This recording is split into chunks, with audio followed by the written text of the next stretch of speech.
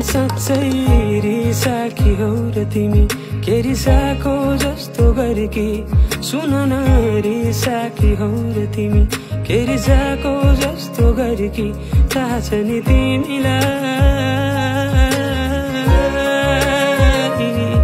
म फकाउँछु भनेर होला।